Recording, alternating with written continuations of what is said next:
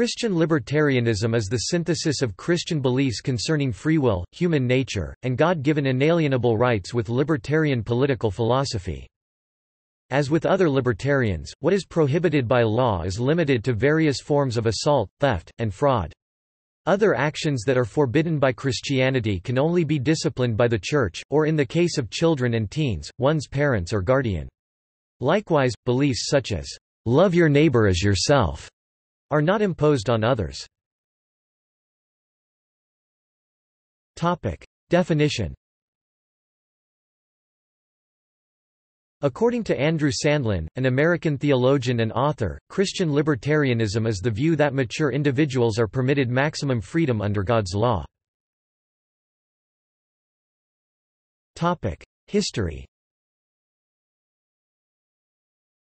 The origins of Christian libertarianism in the United States can be traced back to 18th-century classical liberalism and 19th-century individualist anarchism.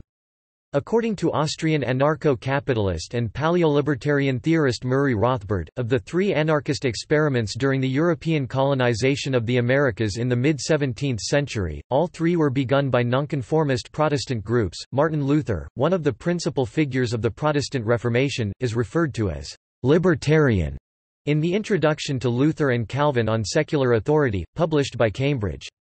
The term used here is something quite different than the ruggedly individualist ideology of American right libertarianism.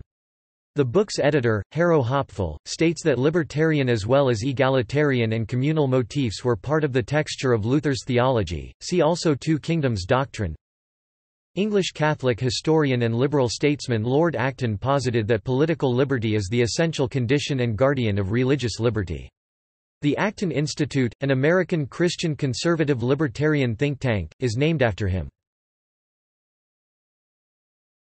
Topic. See also Topic. References Topic. Further reading Bandow, Douglas. Beyond Good Intentions, A Biblical View of Politics ISBN 0-89107-498-8 Summa of the Libertarian Catholic